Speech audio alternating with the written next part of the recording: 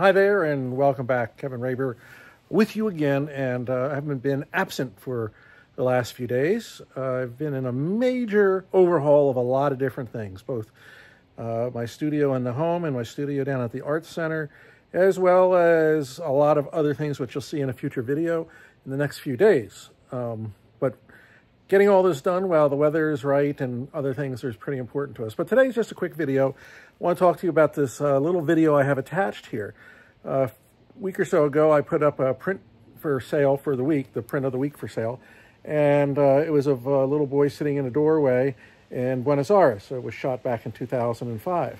Well, after Chris Sanderson, our uh, video production manager and uh, our form moderator, uh, saw this, he remembered that he actually did a video of us when we were making our images in the streets of Buenos Aires back in 2005 prior to our Antarctica workshop. So what you're going to see here is a video by Chris Sanderson uh, of us just kind of walking the streets and photographing all the little things we found in Buenos Aires. And uh, I've included a couple of the pictures that I've actually done uh, uh as you've been looking at this.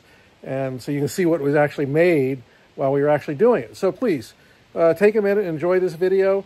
Uh, I've got a lot more to say in the uh, next day or two, so hang in there. There's so much stuff going on. It's really incredible, but it's all good.